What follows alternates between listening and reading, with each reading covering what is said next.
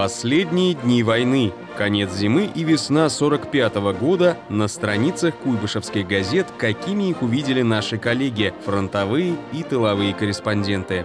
Войска Третьего Белорусского фронта вели бои по очищению от противника косы Фрише-Нерунг. Советские части наступают по узкой, сплошь покрытой лесом полосе земли. Местность исключает возможность какого-либо маневра. Противник тщательно подготовился к обороне и оказывает упорное сопротивление. Наши наступающие подразделения на каждом шагу встречают лесные завалы и минные поля. Советские пехотинцы вместе с сопровождающими их артиллеристами, преодолев три противотанковых рва и несколько линий траншей выбили гитлеровцев из сильно укрепленного опорного пункта Шотланд.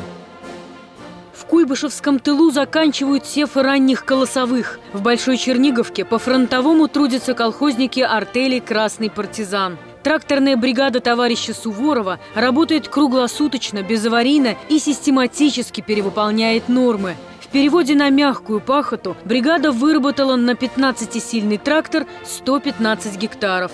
Дружным самоотверженным трудом колхозники ответили на победы воинов Красной Армии. Сев ранних колосовых на площади 560 гектаров выполнен к 1 мая. Колхозники засеют сверх плана 50 гектаров зерновых.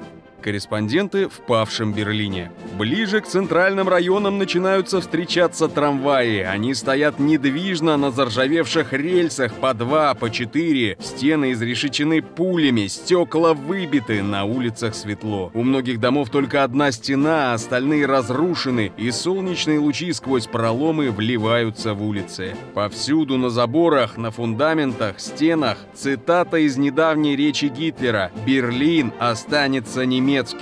До Великой Победы оставалось три дня.